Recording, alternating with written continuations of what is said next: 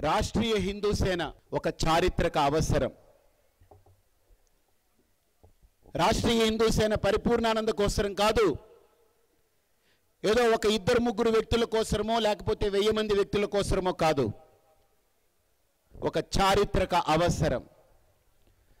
ఒకప్పుడు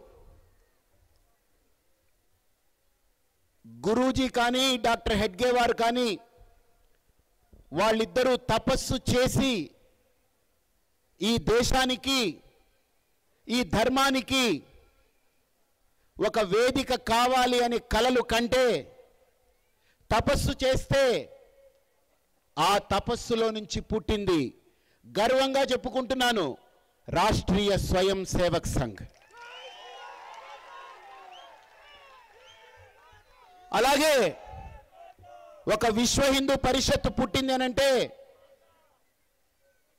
వాళ్ళ పబ్బం గడుపుకోవడం కోసరం కాదు. ఒక మహాసంపన్నుడు తనకున్న సమస్త సంపదల్ని అలాగ తృణప్రాయంగా త్యాగం చేసి సమాజానికి తాను వివాహం చేసుకోకుండా ఎనభై నాలుగు ఎనభై ఆరేళ్ళ వరకు వయసు వరకు బ్రతికి నా రాముణ్ణి అయోధ్యలో పెట్టాలి అని స్వాతంత్రం వచ్చిన తర్వాత ముప్పై ముప్పై ఐదు సంవత్సరాలు అయోధ్య తెరవకుండా మూసిపెట్టుంటే ఆ అయోధ్య తలుపుల్ని తెరిపించినటువంటి మహాశక్తి అశోక్ సింగాల్ గారు. ఆయన అయోధ్యలో రాముడి మందిర నిర్మాణం జరగాలని కలలు కన్నారు. ఆయన శరీరం పోయిందే కానీ నేను అయోధ్యకి వెళితే ఆయన సంకల్పం అయోధ్య మొత్తం నిండి ఉంది.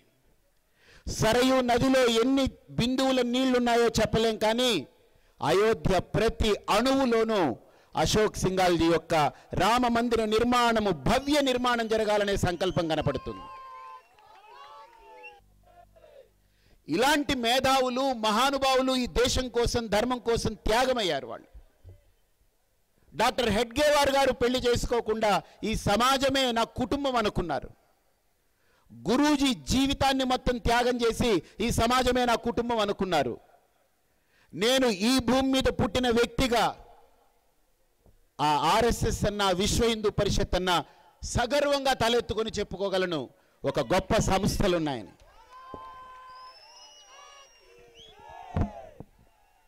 ఆ సంస్థల నుండి నేను నేర్చుకున్న సంస్కారం. అలాగే ధైర్యంగా చెప్పుకుంటున్నాను. నెల్లూరులో పుట్టిన నేను పుచ్చలపల్లి సుందరయ్య గారు. ఆయన కమ్యూనిస్టు పార్టీకి ఒక వెన్నెముక. ఆయన అంటే నాకు మహాప్రాణం. ఎందుకో తెలుసా?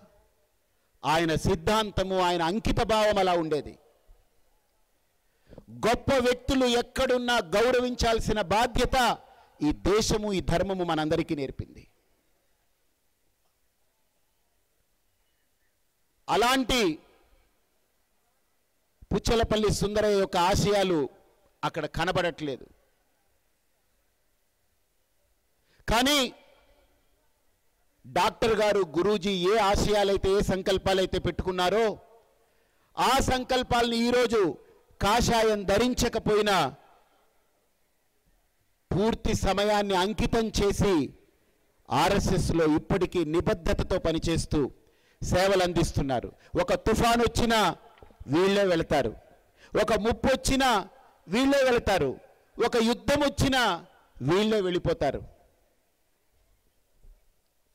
కానీ అంత గొప్ప సంఘం ఈ దేశానికి ఒక పెట్టని గోడ. డాక్టర్జీ వెళ్ళిపోయారు. గురూజీ వెళ్ళిపోయారు. దాని తర్వాత చాలామంది వెళ్ళిపోయారు. కానీ ఆ సంస్థ సంఘం ఇప్పటికీ దేదీప్యమానంగా ప్రకాశిస్తుందంటే ఆ సంఘాన్ని ఎవరు ముట్టుకోలేరు. ఎందుకంటే అది కేవలం అనుకొని వచ్చింది కాదు ఒక తపనతో వచ్చినటువంటి సంఘం. అలాంటి ఆర్ఎస్ఎస్ యొక్క ఆశయాలు ఆలోచనలని నేను కూడా గమనించాను. గమనించి బాగా అర్థం చేసుకున్న వ్యక్తిగా ఈరోజు దాన్ని కొత్త తరానికి ఎలా తీసుకెళ్ళగలగాలి? ఈరోజు భావి తరాలకి ఆ ధర్మాన్ని మనం ఎలా అందించాలి అనే ఆలోచనతో ఆ సంకల్పంతో ఆ తపనతో రాష్ట్రీయ హిందూ సేన అనేటువంటి ఈ ఆవిర్భావం జరిగింది.